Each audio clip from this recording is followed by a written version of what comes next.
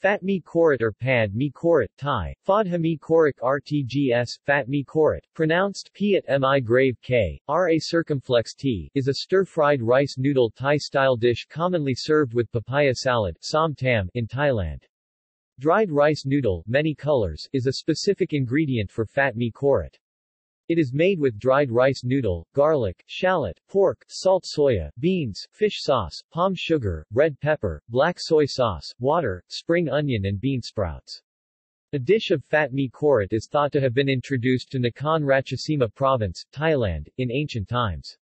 In the past, most people in Nakhon Ratchasima for short, korat commonly were farmers.